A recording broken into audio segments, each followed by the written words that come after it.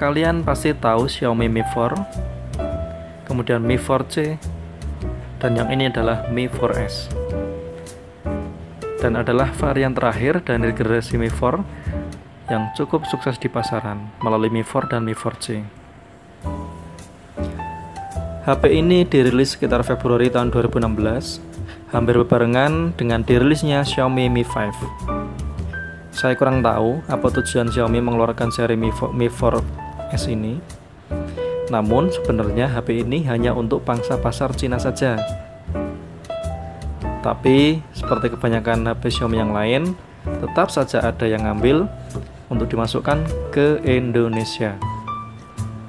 Tentu melalui pihak distributor ya. Dan ini nggak ada yang resmi. Seperti apa kinerja dari HP Mi 4S ini? Mungkin yang langsung membuat mata terbelalak adalah desain dari belakang Mi 4S ini. Ya, karena saya sampaikan tadi dibuat berbarengan dengan Xiaomi Mi 5, tentu material dan karakternya hampir sama dengan Mi 5. Berbahan kaca, dengan ada sedikit sentuhan seperti goresan-goresan yang halus, sehingga membuat karakter yang tegas pada Xiaomi Mi 4S ini. Bentuknya sangat macho, mengotak, sangat tegas sekali. Mungkin ini jadi salah satu daya tarik tersendiri tentunya bagi kaum pria untuk memiliki Xiaomi Mi 4S ini. Salah satunya adalah saya sendiri.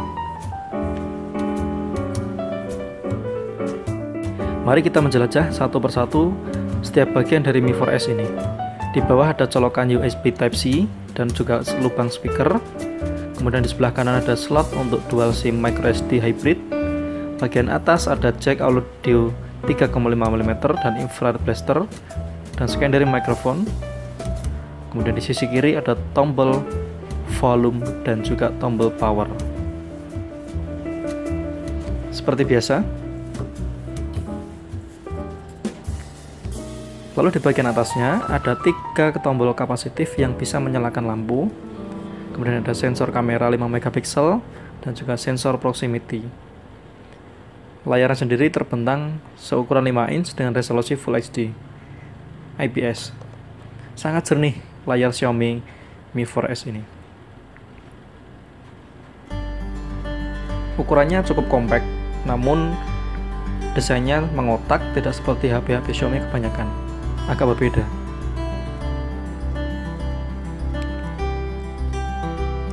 Ketika layar dinyalakan, langsung terlihat warnanya sangat tajam sudut pandangnya juga luas. Dan ini meskipun sama-sama Full HD kalau dibandingkan dengan Redmi 4 Prime layarnya lebih baik, lebih bagus ini.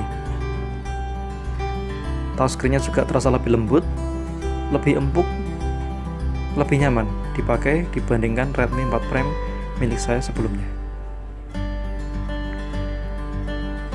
Untuk kelengkapan sensor sendiri juga seperti biasa Xiaomi tidak pelit dengan sensornya lengkap meskipun dari 9 yang tersedia masih ada dua yang tidak dikasih. Kemudian skor Antutunya mencapai 50.298 poin. Ya cukup baik ya.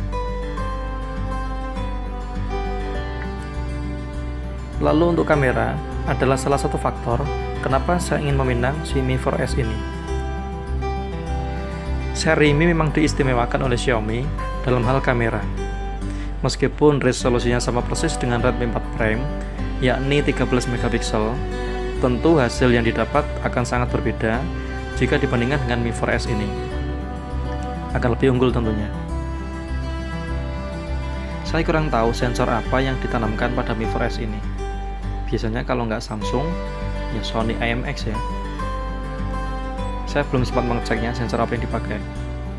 Namun sekilas ketika saya mencoba-coba kameranya, sebenarnya cukup baik. Warnanya natural tajam shutter speednya juga cepat. Di mode manualnya pun tersedia settingan exposure namun maksimal hanya 2 detik. Kalau di Mi 4 yang sensor Sony bisa sampai 32 detik ya. Mungkin ini setara dengan Mi 4C yang setahu saya Mi 4C juga hanya 2 detik. Ada mode filter yang sangat banyak kemudian bisa mengatur juga fokusnya sesuai dengan keinginan. Pokoknya untuk sektor kamera, saya sangat suka. Kamera depan pun meskipun hanya 5 megapiksel, namun hasilnya di luar ekspektasi. Jauh mengungguli dibandingkan Redmi 4 Prime saya sebelumnya.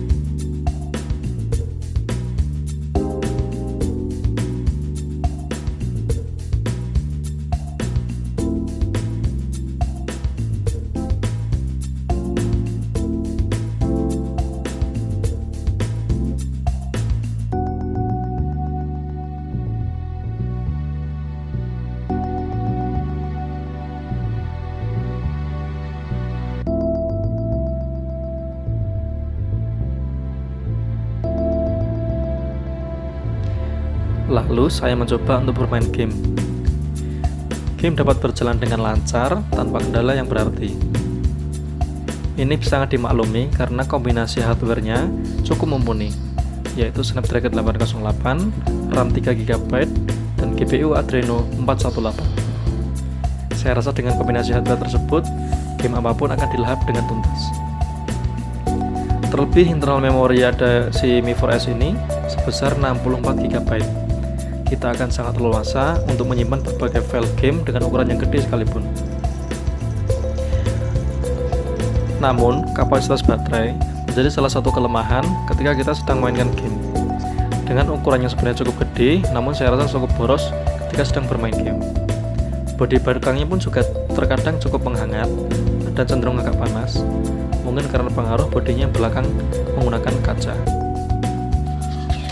Lalu di sektor audio, si Mi 4S ini juga sangat puas.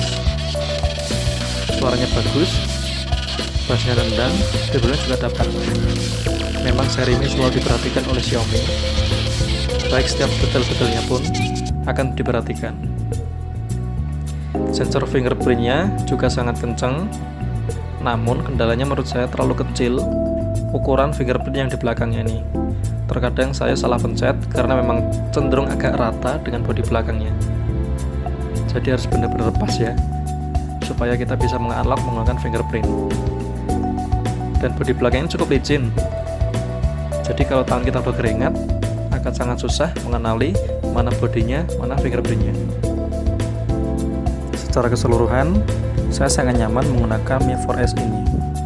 Bodinya cukup compact dan masih bisa dioperasikan dengan satu tangan touchscreennya juga sangat lembut, nyaman, empuk. Kalau boleh saya membandingkan, lebih nyaman dan lebih enak memakai Mi 4S ini untuk mengetik dibandingkan dengan seri Redmi 4 Prime saya yang kemarin. Tentu ini ada alasannya, memang seri Mi dibuat lebih spesial, lebih mahal, dan tentunya memperhatikan setiap detailnya karena memang itu seri flagship dari Xiaomi usahakan untuk memakai soft case untuk melindungi gorisan karena bodi-bodi kaca seperti ini rentan tergores dan akan pecah ketika jatuh jika kita tidak menggunakan pelindung berupa soft case ataupun hard case